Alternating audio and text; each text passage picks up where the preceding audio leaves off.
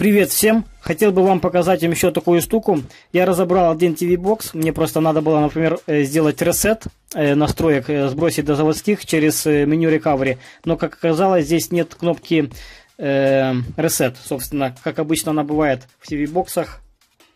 В разъеме аудио-видео. Обычно большинство TV-боксов именно там разъем находится. Ну, там и бывает и R.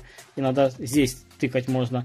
Но, как оказалось, здесь кнопки этой нет. Когда я разобрал этот TV-бокс, Здесь эта кнопочка выведена отдельно внутри, то есть нужно снимать крышку, чтобы его конкретно нажать.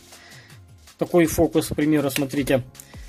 Это у нас моделька э, с этой стороны.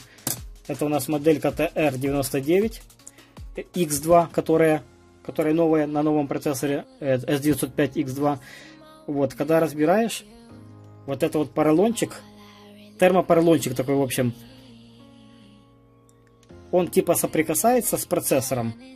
И когда э, он закрытый, типа оно что-то должно помогать на радиатор выводить воздух. Ну не знаю, оно здесь, ну липкое, конечно. Э, насколько оно здесь выводит этот воздух, может нормально, может не очень.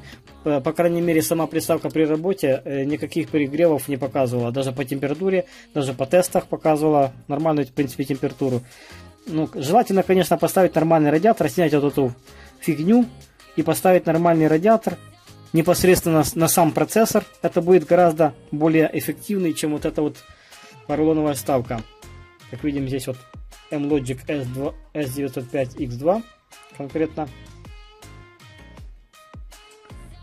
Кому интересно, внутренности можете посмотреть, что здесь имеется.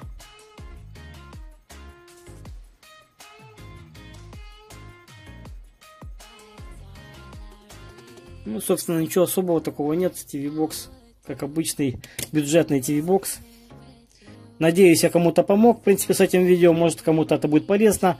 Э, посмотреть в разобранном виде, что себя представляет этот TV-бокс, где находится кнопка Reset и тому подобное. На этом тогда будем заканчивать. До скорой встречи. Всем пока. Подписывайтесь, ставьте пальцы вверх.